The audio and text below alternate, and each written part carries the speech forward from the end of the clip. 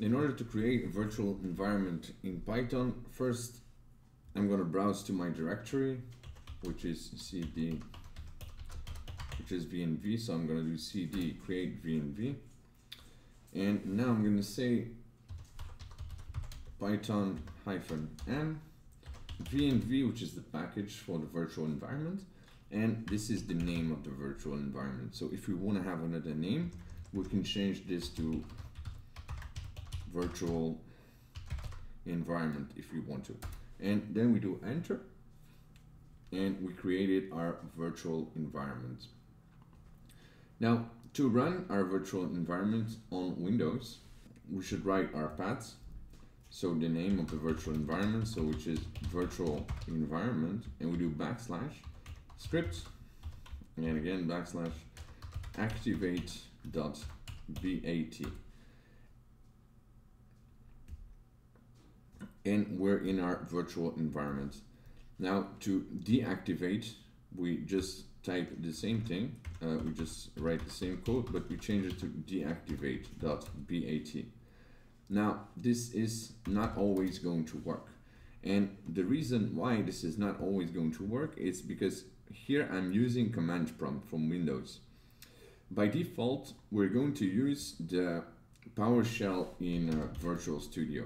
So if we're going to use Power, if we are using PowerShell and I'm going to run the same command, so I'm going to say virtual environment scripts activate dot bat.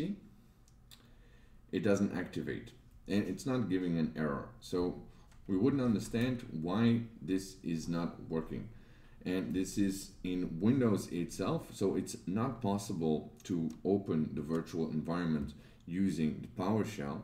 We need to use the command prompt. So if we're going to type the same thing oh, if we're going to activate it right now we're inside our virtual environment.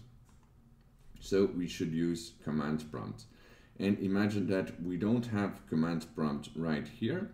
We can go to power we can go here on this arrow down and we choose command prompt and it's going to create a new command prompt and from here we can go again we can do cd create venv.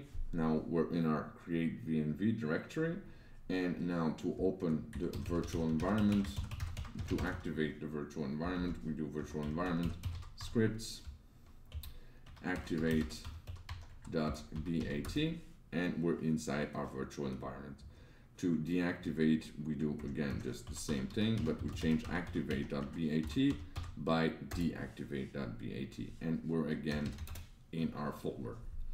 So this is how we create and how we activate and deactivate a virtual environment in Windows using Visual Studio and using command prompt in Visual Studio, so not the PowerShell.